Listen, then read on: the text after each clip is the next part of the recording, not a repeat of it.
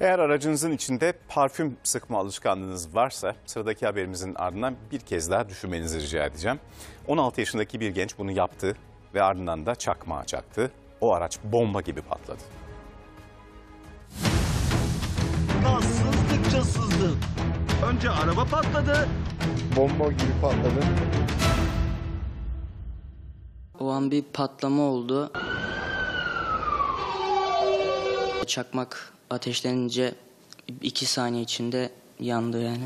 Aracın içinde sıktığı parfümün ardından çaktığı çakmak az kalsın hem onu hem de arkadaşını öldürüyordu. Patlama öylesine büyüktü ki bomba etkisi yarattı. Genç adamsa 18 günde 50 kez bıçak altına yattı. Duyma kaybı yaşadığı için kulaklarımdan korktum.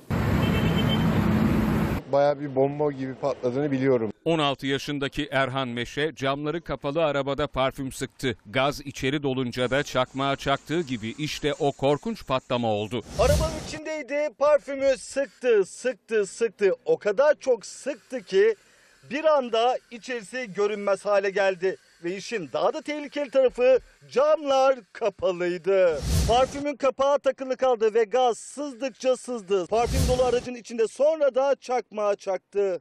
Bir anda araç patladı, sonra da alev alev yandı. Bir kozmetik ürün vardı. Onu kullandığımız sırada takılı kaldı. Ee, ondan sonra araç içinde çakmak ateşlenince iki saniye içinde yandı yani. Güneş e, parfüme ve çakmağa vurduğu zaman ısıtıp patlatıyor. Talihsiz genç yanındaki arkadaşıyla birlikte yaralandı. Kolları ve bacakları yandı. 18 gün yoğun bakımda kaldı. Onlarca da ameliyat geçirdi. Araç içinde çakmak veya yanıcı bir madde kullanmamalarını öneririm. Arabaların güneş alan kısımlarında çakmak ve parfüm gibi ürünlerin uzun süre kalması benzer facialara neden olabiliyor. Sonuçları da tıpkı yaşanan bu son örnekteki gibi can yakıcı olabiliyor. Arabaya geldiğinde çakmak patlamıştı. Yani biz de arabada olabilirdik yani veya çocuk da olabilirdi.